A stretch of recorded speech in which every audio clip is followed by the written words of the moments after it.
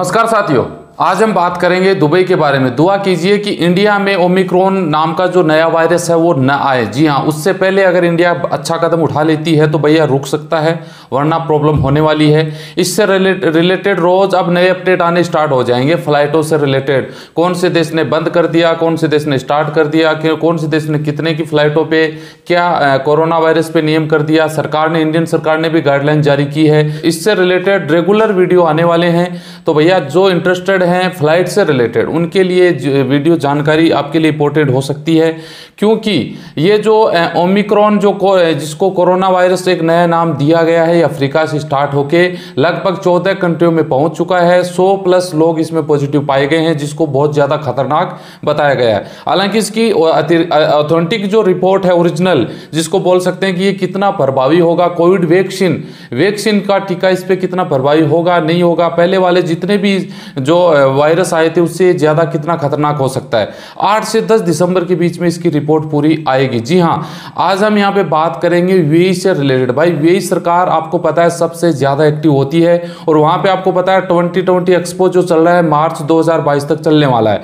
तो वो नहीं चाहते कि हमारे देश में एक भी ऐसा कोरोना वायरस आ जाए जिससे ये हमारा पूरा प्रोग्राम खत्म हो जाए। सबसे पहले वी ने छः देशों पर फ्लाइटें बैन कर दी हैं छः देशों के लिए, जो अफ्रीकी देश है। जी हाँ जिनमें कहीं ना कहीं एक, दो, तीन, एक, दो, तीन, इस तरह से ये जो ओमिक्रॉन को जो वायरस है, ये आ चुका है लोगों के अंदर। जी तो बता दूँ, दुबई सरकार ने इन देशों को छः देशों को बैन कर दिया है। और भैया, उम्मीद ये करेंगे, ऊपर वाले से दुआ कीजिएगा कि इंडिया में ये वायरस ना आए, वरना एशियन कंट्रीज़ में मुश्किल से तो यार कितने लंबे टाइम के इंतज़ार के बाद में तो वही सरकार ने इंडियन लोगों के लिए इजाज़त दी थी। आप सबको पता है, पाकिस्तानी, नेपाली, बांग्लादेशी, फिर प्रॉब्लम हो जाती है तो भैया फिर तो प्रॉब्लम ही प्रॉब्लम है। 2022 इतनी खतरनाक हो सकती है कि उसका सोच नहीं सकते।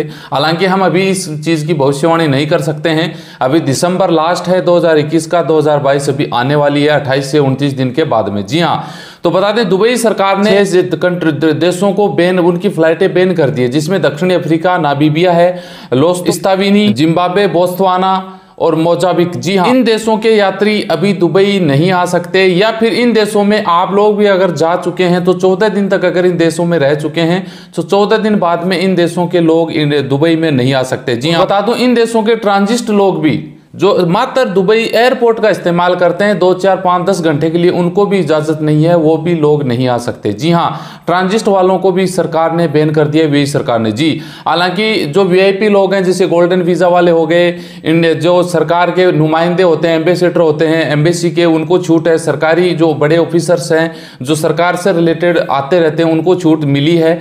उनका भी भैया पूरा पीसीआर टेस्ट होगा छः घंटे रेपिड टेस्ट उनको भी लेके आना होगा। दस दिन वी में क्वारंटाइन करना पड़ेगा। जी हाँ अब आप समझ लीजिए भाई, इतने बड़े वीआईपी लोग, उनको भी क्वारंटाइन होना पड़ेगा।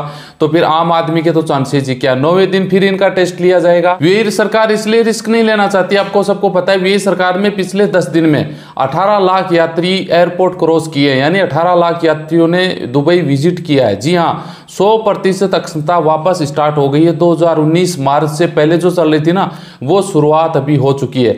औसतन अगर देखा जाए तो रोज के एक लाख साठ हज़ार यात्री दुबई में पहुँच रहे हैं। जी हाँ वर्ल्ड लेवल पे एक लाख साठ हज़ार यात्री कम नहीं होते भाई, एक देश में, किसी देश में जाना। जी हाँ वे का जो ट्वेंटी एक्सपो है, इसको सक्सेस करना है हर हाल में। इसलिए उनको लगेगा कि एक देश में एक भी केस आ गया।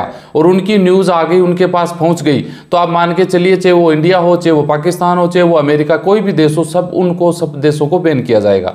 क्योंकि वो नहीं चाहते एक देश के पेटे हमारा पूरा सिस्टम खराब हो। तो उम्मीद करेंगे, भैया, सावधान रहिए, सतर्क रहिए। जो लोग अभी विदेशों से, खासतौर से अफ्रीकन देशों से इंडिया आ रहे हैं, उससे रिलेटेड भी हम आगे वीडियो बनाते रहेंगे। नज़र जमाए रखें, बनाए रखें, नित रोज नए अपडेट आते रहेंगे। मिलते हैं नेक्स्ट वीडियो में, इसी जानकारी के साथ। जय हिंद